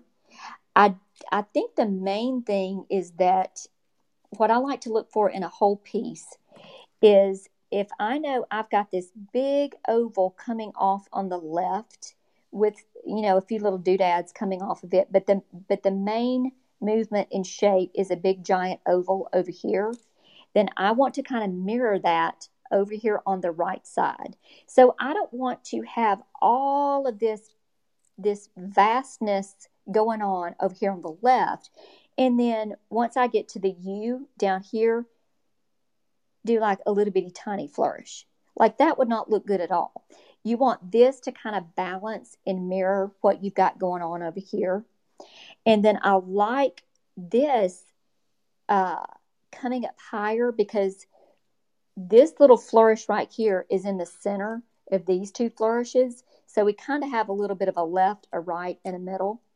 And I like the fact that this comes up a little bit higher.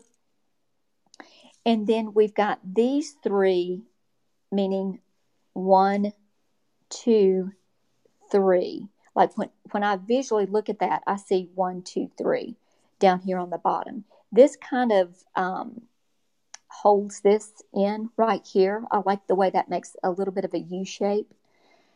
Uh, so I, I don't know. I just think this looks pleasing to the eye. It looks balanced. Even though I don't have, I've got like one, two, three on the bottom. I don't have right here one, two, three like I do down here, but I've got a larger one, two, three. So I still think this all works. So I've got kind of a little umbrella on the top, and then I've got the reverse of that on the bottom. So, really, if you were to take this whole entire shape, you could really draw a big, giant oval all the way around it. And that oval would, for the most part, be sitting horizontally. So, I think the overall look of that works, even though I've got a lot of stuff going on, you know, within the piece.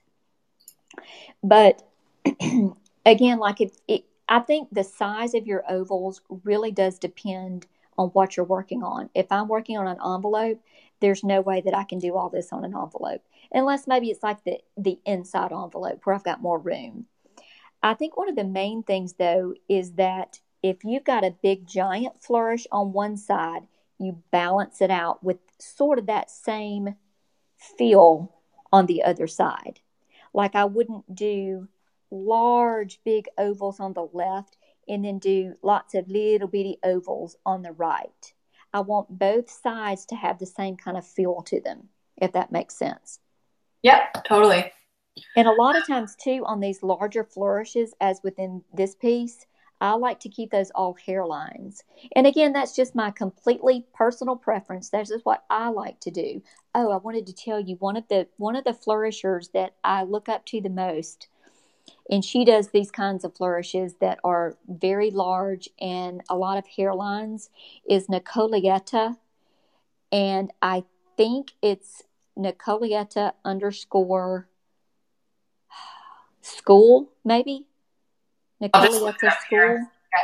I'm not 100% sure on that, so don't quote me on that. But if you type in Nikolietta, it should pop right up. But her flourishing is absolutely amazing and um, she does a lot of hairline flourishes. There's not a lot of weight to her flourishes. They're all just very wispy and light, and I just really love the way that looks. So she's a, a great source of inspiration for me when I uh, when I think about my flourishing. How do you spell Nikolietta? It's uh, let's see. I think it's N I K O L I E T T A. And I think it's underscore. It's underscore calligraphy. I found that. Calligraphy. Okay, perfect. Yes, she is amazing. She is amazing. And I think she is in Russia somewhere, but I could be wrong about that. But she is like, wonderful. Yeah. It looks like Moscow, Russia. Yeah. Yeah, yeah. She's wonderful. So we got um, some clarification on what the connector, the flourish connectors meant. I think what the person was asking was um, sort of letters that are in the middle of a word as opposed to on the start or the end. Okay, gotcha. So if uh, how I would want to flourish a letter that's in the middle. Yeah. So what? Um, do you have any sort of guidelines for that? Yes. Usually, um, let me move this out here. Let me think of a word that has no descenders. So if I'm going to write the word um, sweet, I'm just going to do this with a pencil because it's quick and easy.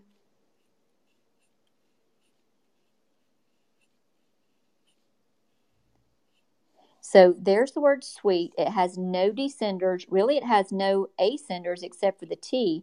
So we could make this a nice big flourish for that crossbar. But what I would probably do is I would probably drop one of these E's and maybe take it down and around. And maybe just finish this off right here and just kind of keep it simple. Let's see if I can write that with the pointed pen and make it look pretty. Can you see my hand here?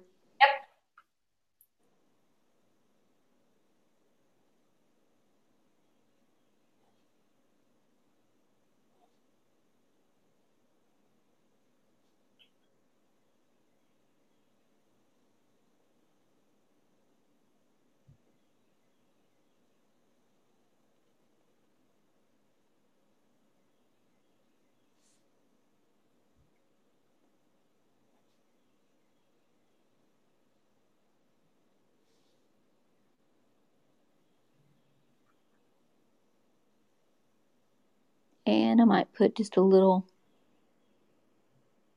loop right there. So I think that works okay. I could have also taken it off the T and it just been on the end and dipped this down and then come down and around like that.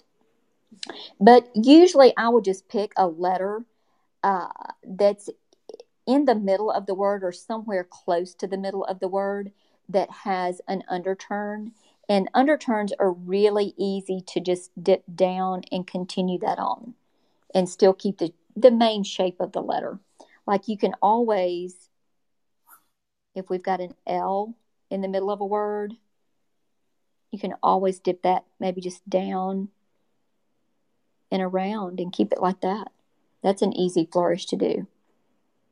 So it would just be kind of maintaining that balance and making sure you're still following the rules with the ovals and that kind of yes. thing. Yeah. Yes, exactly. So just take for instance, and I didn't really think about this one as I was making it, but I do like the way it turned out because I've got an oval right here that's sitting fairly nicely right on its side. And I have dipped down about the same amount of space that I have come up and over that line. So this little oval right here, I've got this space that's running right through the middle of it. And I like the way that looks. But now, you know, once we have made our piece and um, we don't have these guidelines anymore on here, and it looks like this, nobody knows how far you've dipped down and how far you've come up. And nobody's going to know that you've got, you know, say, not quite as much space right here as you do right here. That's only if you've got the guidelines back behind it. So don't don't be too hard on yourself if you're practicing this and you think you have come down a little bit too low on this one portion because it's not quite even with the portion that's up above it it doesn't matter because once you remove those guidelines, then you don't see those. You don't see it at all. But if you're aware of those things as you're writing and you do try to make it even, uh, I, I just think it makes the overall shape prettier and more appealing to the eye. And I think it's one of those things that once you do remove the guidelines, if you haven't thought about that while you're doing it, it just won't look quite as appealing to the eye overall. And I feel like it's going to be one of those things that you just can't quite put your finger on. You know it doesn't look as good as you want it to, but you're not sure why. But if you do follow these little rules that we've just gone over, I I really do think it just makes the whole look of it much prettier overall. I know it does with me anyway. Yep, sure. Okay, um, we have. I have one more question that I think Okay. will require um, demonstration, and it's Okay. one that was submitted ahead of time. Uh-huh. So Kendra asked, "How do you write the next line on an envelope and cross over the line above it without making a mess?" Yes, yes. Um, I wish I had one of my envelopes here right in front of me and I would show you. Um, let me see if I've got one right here. No, that one doesn't have one. Okay. What I normally do is, can you see if, see me if I'm writing right here? Yep. You might want to move it move it up a tiny little bit. Yeah, there you go. Okay, so say if I'm writing the word, um, let's just write the word pretty.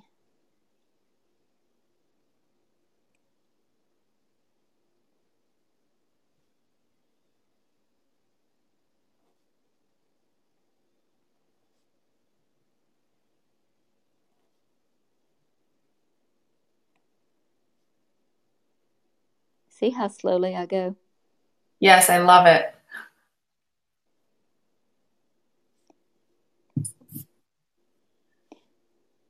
Okay. So let's say that here is my next baseline. And I've got to write the word um, have or something that's got an H or an L. And it ends, and I need to start my next letter right about there. And so then usually I'm like, oh, shoot, that's going to bump into that. What do I do? I would just take it. Say if this is an L, I would take it up. And this one is really crossing over. Usually I can kind of finagle it a little bit where it doesn't cross over quite that much. So if we're writing the word love. Everyone always wants to write the word love, and it's one of the hardest words I find. I know. I, know. I also write the word hello. If I'm ever testing ink to see if I've got the right consistency or whatever, uh, I always just write hello. And then I've got, you know, I've got three ascenders and it never looks good. Like I could pick an easier word. But what I do, I just normally tuck one of those behind the other one. And I also sort of do the same thing. I'll write this real quickly. When I write the word Mr. and Mrs., so this is how I would normally do it. This is my go to M, and this is not my best work because I'm writing a little bit quicker. So there's Mr.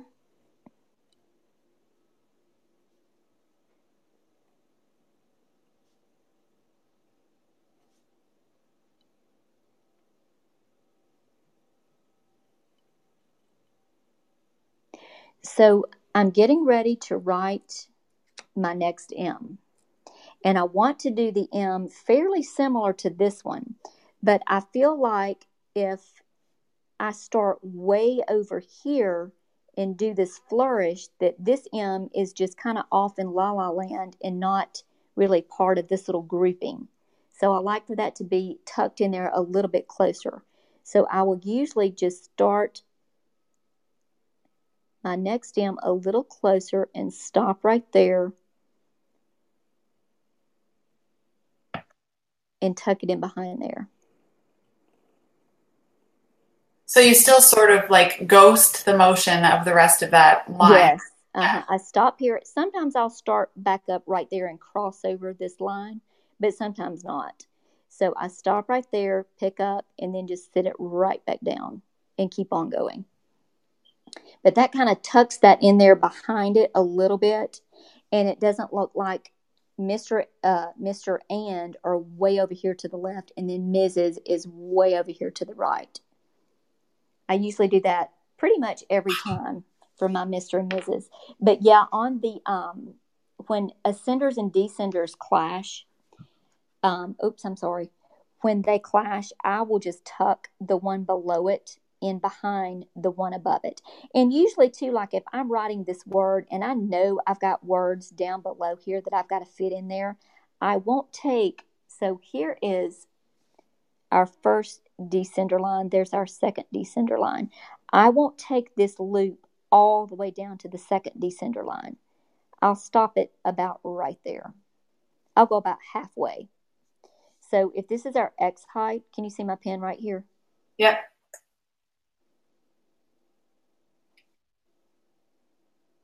I would stop it short, like that right there. So there's our first descender line. There's our second descender line. So I don't take it all the way down. I take it about halfway into that space. And that gives me a little bit more room to work with in case I have an ascender on that next line.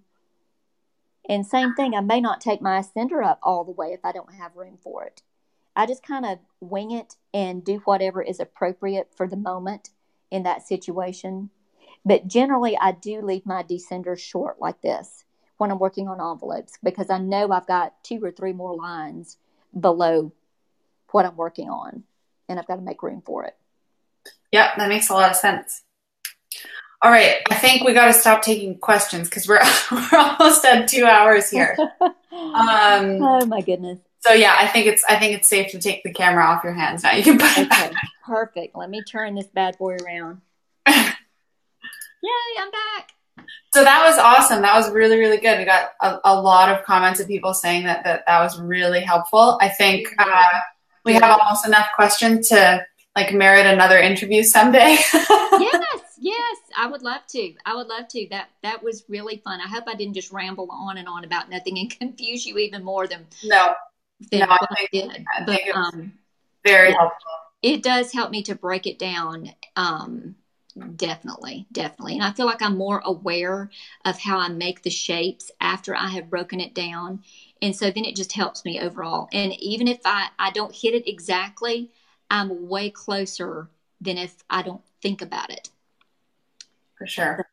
yeah So, um, okay, so I'll just mention I'm going to pop up on the screen here the link for anybody who wants to grab those guide sheets that you are providing so nicely for us. Um, so it's the happyevercrafter.com slash Suzanne dash Cunningham. So all of the worksheets that Suzanne is providing for you guys, which are awesome, are available there. And you can just put your email address and I'll send them over to you. Um, And when I get my new guidelines written, maybe we can come back and talk some more and they can get some samples from my, my, my new guide sheets. Yes. Because those are going to look amazing. I have a graphic designer helping me because I can't do any of it myself. That's okay. The content on them is is amazing on its own too. Well, thank you. Thank you. So, um, what is there anything like up and coming in Suzanne Cunningham worlds that you want anyone to know about, or Uh, you know, if anybody wanted to maybe comment and tell me what they would like to learn, whether it's beginning copperplate or flourishing or how to address envelopes, um, modern script, um, I am going to be doing a workshop. These you can't register for these yet. Probably sometime this summer, and I will post on Instagram. But October 27th and 28th, I'm going to be at 1818 Farms doing a flourishing class for one day, and then the next day we'll be doing either a half day of envelope addressing or a full day. I haven't written my notes on that yet, and I've never taught that class, so I don't know how long it's going to be yet. I keep thinking in my mind, eight hours is a long time to talk about addressing an envelope. But, But I have a feeling I could probably talk that long about it, though. So I we may just did two out with- hours here without even trying. So, I, I know, I know. So I, I may start out with four hours, and then it probably will quickly grow to eight hours. Um, but anyway, that's October 27th to 28th at 1818 Farms, and then I'm going to be doing that that exact same thing, flourishing and envelope addressing, the very next weekend at Paper and Ink Arts in Nashville. And I think that's November 3rd and 4th. And I would also love to sneak in another workshop, maybe in September sometime here in Florence. There is um, an event space that's going to be really cool that I can use, and it will probably be open in July sometime. So it's not yet available uh, for me to use, but it will be um, sometime this summer. So if there's enough interest, I would love to um, to add another one in September. well, you're getting a lot of comments here of people that want you to do an online course because they can't go to any of those places. but you and I talked off, off air about how you're technologically challenged a little bit. It's, it's awful. But, you know, sadly, I still don't have an excuse because um, my brother is a TV and film um, director. and so uh, he makes commercials, he does radio, uh, he does all of that. So I don't even have an excuse. And we have talked several times before about how, okay, we, we're going to make an online class, we're going to do it, we're going to do it. And I think just because the fact that he's my brother and I'm his sister, it's just, it, it doesn't get done because it's not official. You know what I'm saying? It's just, oh, it's my brother. You know, and he's like, oh, well, that's my sister. I, yeah, we'll get around to that. So, I don't Well, know. I can tell you that pushed to the back burner, but one day I do feel like it's going to happen. there's definitely interest. People are people are commenting up a storm right now. Oh, thank you. Thank you. Well, it would be fun. It would be fun. I would love to do it. It's just a So- matter of, you know, making the time to do it and actually doing it. So, what's the best place for people to find you? Are you most active on Instagram? Um, Instagram is S U Z Cunningham. Um, my I, I don't have a website, I told you I'm, very archaic when it comes to technology, but I feel like I have lasted for 25 years now without a website. So why do I want one? Um, and there again, my brother said he would build me one, and that's probably why you know we haven't done it yet, just because it's my brother. So, which is all good, but um, so I don't have a website, so I'm sorry about that. But um, my email, if you ever need to email me at for any reason, is suz eight two two cunningham at gmail.com. So that's my email. No website, unfortunately. Maybe one day. And um, then Instagram is SUZ Cunningham. Amazing. So thank you again. That was really awesome. Super. Uh, thank you. Thank you for having me. It's been fun. Yeah. And uh, I'll just pop this link up on the page one more time for anybody who needs to grab those worksheets. And this will be available for replay too, so people can come back and actually practice what you awesome. were teaching. Awesome. Uh, and uh, yeah, I guess we will sign off for now, but we'll have to plan another one at some yes, point. definitely. Definitely. I'm here anytime you just say the word. That'll be fun. Okay. Thanks a lot, Suzanne. Thank you, Beck. I appreciate it. Bye, everybody. Bye. Bye.